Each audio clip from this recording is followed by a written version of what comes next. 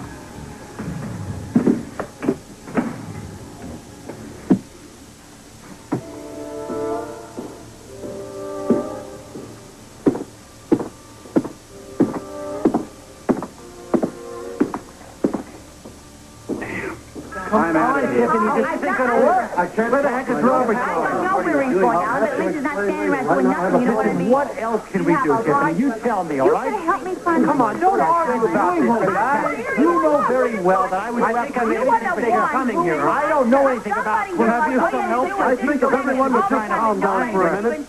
Why don't we stop and just talk about, please, Alan. What is that smell? That's dreadful. What is that odor? God, what is that? I'll help. Oh, Here, no, no, that's no, not no, that. no. Help, don't you? Another customer. Table for two? It depends on whether that handsome gentleman at the bar would care to join me.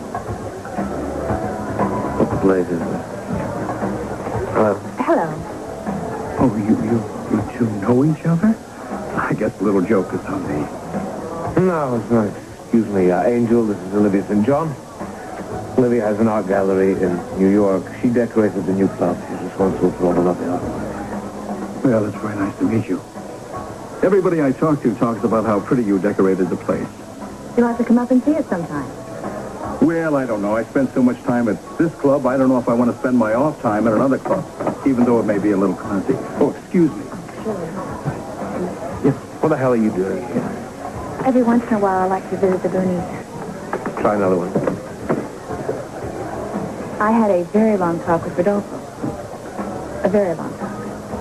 And that's not something we could talk about on the telephone. Not about this discussion. You and I have some very important decisions to make.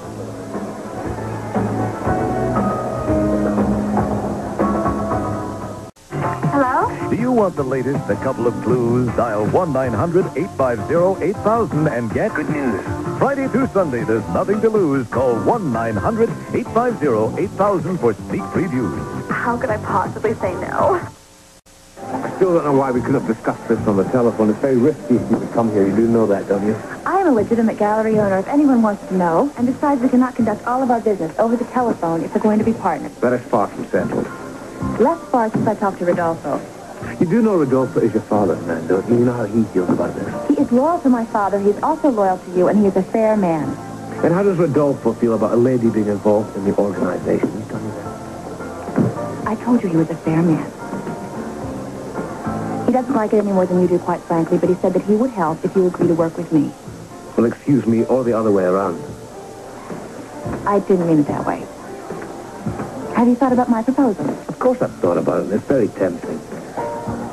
Spend any more time than I have to in New York City. With you up there, it would take some of the burden off me. Certain decisions we will still have to consider face to face, not over the telephone. Well, yeah, I'm sure of that. And there will be certain meetings where your presence will be expected. You cannot command respect over the telephone. To command respect, you have to be there, as my father said. You listen to me. Don't you tell me what your father says. I know your father thinks and feels much better than you do. I will be in New York when it is necessary.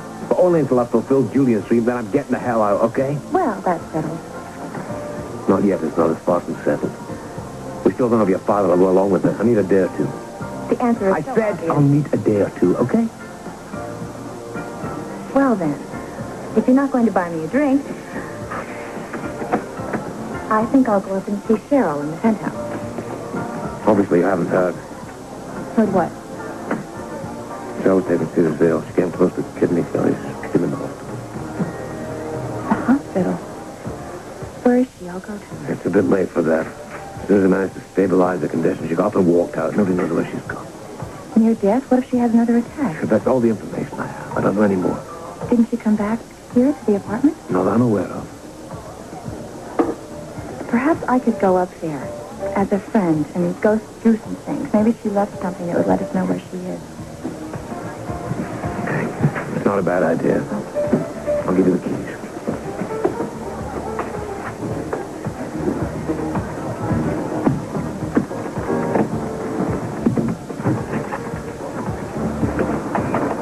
Good luck. Thank you.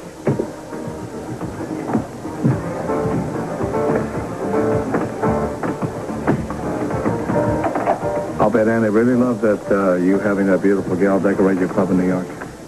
Why don't you keep your funny remarks yourself. All right. Uh, That's customer. Sorry, boy. Yes.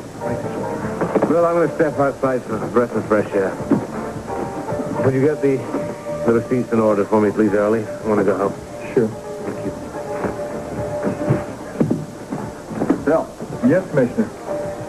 I don't suppose you've seen Miss Stansbury here tonight. No, sir. Listen, once you find the key to her apartment, I'd like to have a look around. Maybe something will tip me off as to where she's gone. Sure thing, Commissioner. Let me just get rid of the glass and dry my hands.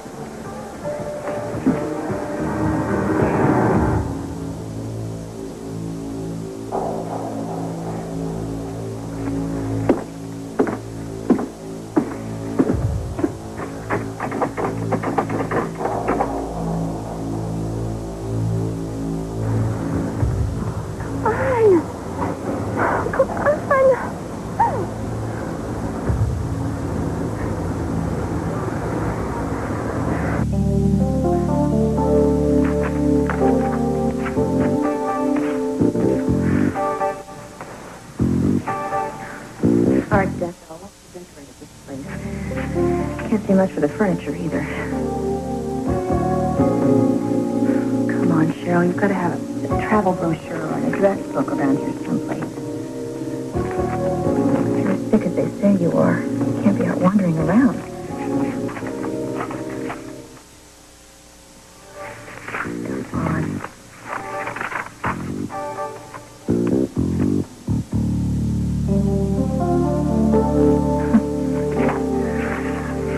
Anna would feel about my being in town. At Duke's Club. Well, that could be Duke. Maybe not.